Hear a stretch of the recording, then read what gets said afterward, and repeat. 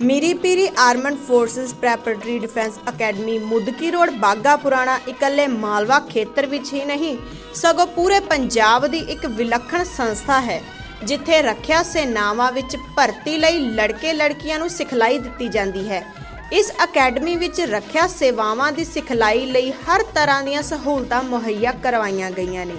ਇਸ ਅਕੈਡਮੀ ਵਿੱਚ ਐਤਵਾਰ ਨੂੰ ਐਨਡੀਏ ਦੇ ਰੱਖਿਆ ਸੈਨਾਵਾਂ ਵਿੱਚ ਲੈਫਟੀਨੈਂਟ ਦੀ ਭਰਤੀ ਵਾਸਤੇ ਐਸਐਸਬੀ ਵੱਲੋਂ ਲਏ ਜਾ ਰਹੇ ਟੈਸਟ ਦੀ ਤਿਆਰੀ ਕਰ ਰਹੇ ਲੜਕੇ ਲੜਕੀਆਂ ਦੀ ਮੀਰੀ ਪੀਰੀ ਅਕੈਡਮੀ ਵਿੱਚ ਵਿਸ਼ੇਸ਼ ਕੈਂਪ ਲਗਾਇਆ ਗਿਆ। ਇਸ ਕੈਂਪ ਬਾਰੇ ਜਾਣਕਾਰੀ ਦਿੰਦੇ ਅਕੈਡਮੀ ਦੇ ਡਾਇਰੈਕਟਰ ਅਵਤਾਰ ਸਿੰਘ ਖੋਸਾ ਨੇ ਦੱਸਿਆ।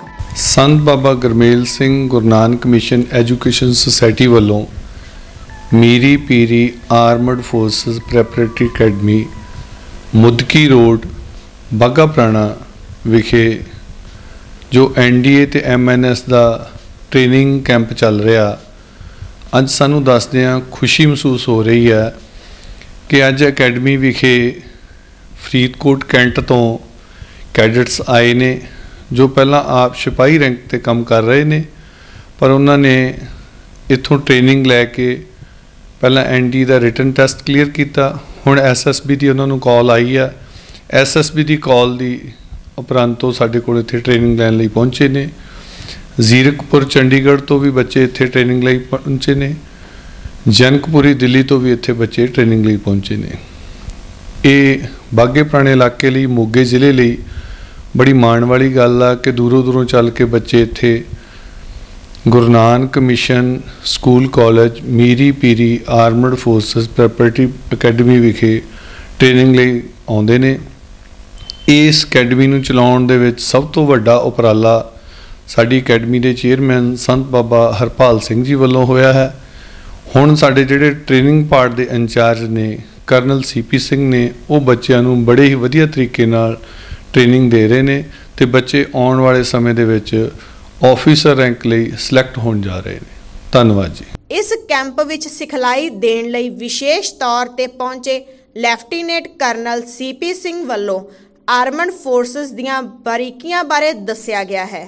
ਇਸ ਟ੍ਰੇਨਿੰਗ ਬਾਰੇ ਐਸਐਸਬੀ ਅਲਾਹਾਬਾਦ ਦੇ ਸਾਬਕਾ senior GTO lieutenant colonel CP Singh ਨੇ ਦੱਸਿਆ। ਕਿਉਂਕਿ ਅੱਜ ਜਿਹੜਾ ਅਸੀਂ ਪੂਰੇ ਇੱਥੇ ਸਟਰਕਚਰਸ ਕ੍ਰੀਏਟ ਕੀਤੇ ਆ Miri Piri armed forces preparatory academy ਵਾਸਤੇ।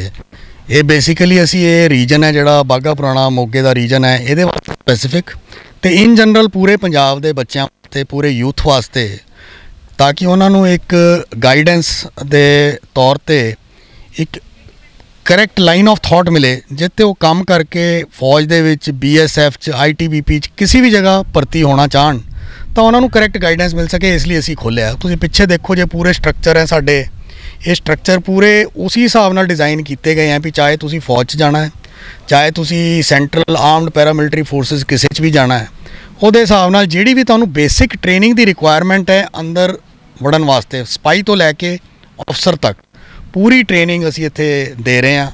ਇਸ ਸੰਸਥਾ ਨਾਲ ਮੈਂ ਆਪ ਜੁੜਿਆ, ਮੈਂ ਇੱਕ ਅਸੈਸਰ ਰਹਿ ਚੁੱਕਾ ਆਰਮਡ ਫੋਰਸਸ ਦੇ ਵਿੱਚ ਤੇ ਮੇਰੀ ਆਪਣੀ ਫਰਮ ਹੈ Chandigarh based colonels counselling and consultancy services ਉਹਦੇ ਥਰੂ ਮੈਂ ਬੱਚਿਆਂ ਨੂੰ ਮੈਂਟਰਿੰਗ ਕਰਾ ਰਿਹਾ ਪਿਛਲੇ 3 ਸਾਲ ਤੋਂ।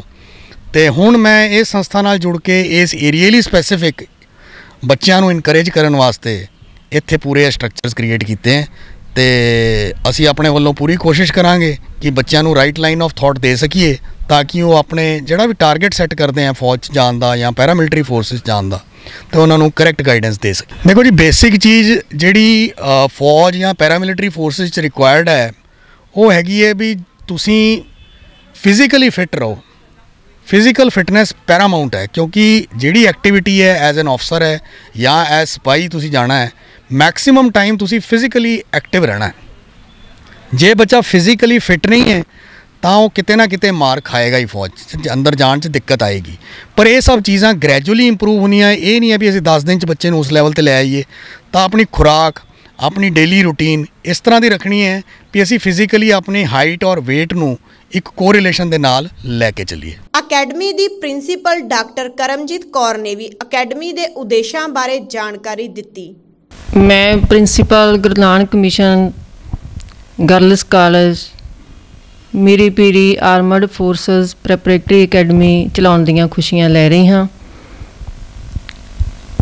ਸੰਤ ਬੜੇ ਪਰਮਾਰਥੀ ਸ਼ੀਤਲ ਜਿਨ੍ਹਾਂ ਦੇ ਅੰਗ ਤਪਸ਼ ਬੁਝਾਵਣ ਔਰ ਕੀ ਦੇ ਦੇ ਆਪਣੇ ਰੰਗ।